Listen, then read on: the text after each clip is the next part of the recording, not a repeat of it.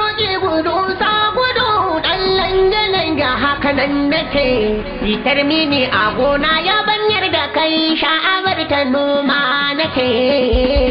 Taka sanni sanni ni tabo idan ka can bala kafar ka sai na riƙe. Da damuna idan an ruwa ana kewaye ni kwanto nake. Mai abokan dai a kura iburo uban da kake.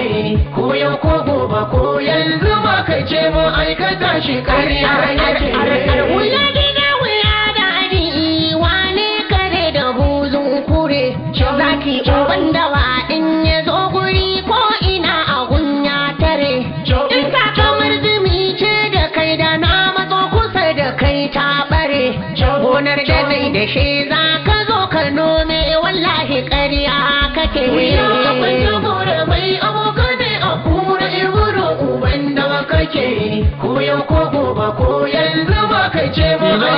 shi ƙarya yake.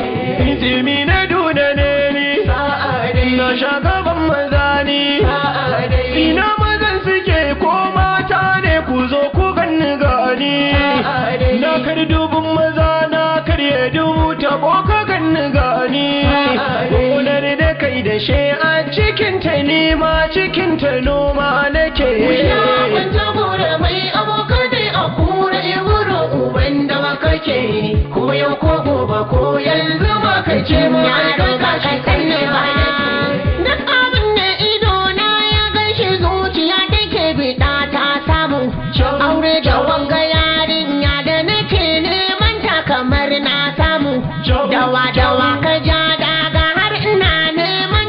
Ce kai kamu. Nemar wakan ka sauƙi mu daina ja ja ka sallama ka sake.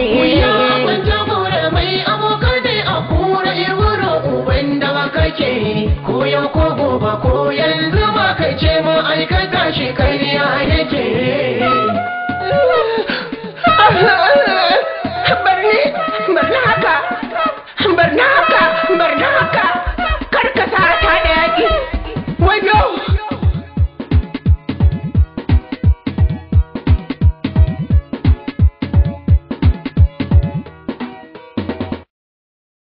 Jagora mai abokan a kura iburo uban da ba kake ko yau ko gobe ko yanzu ma kai ce mu aikata shi ƙarya yake. Komai wuya da suka tsara ba na barin ta nema nake. Ko za a ta da yaƙi garin gaba da gudu bare in fake. Na daura da mara na ja dinga ƙarfi kala kala na riƙe. Sai dai kaɓar da ni kan na diyar nan da zuciya ta riƙe.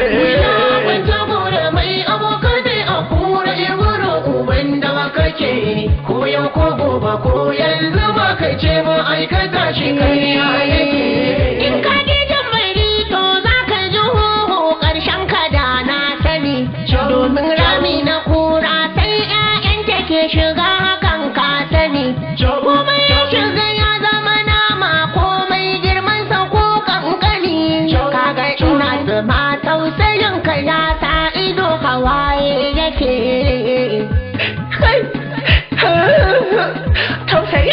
tausayin ka da ke ji, kai. Ki daina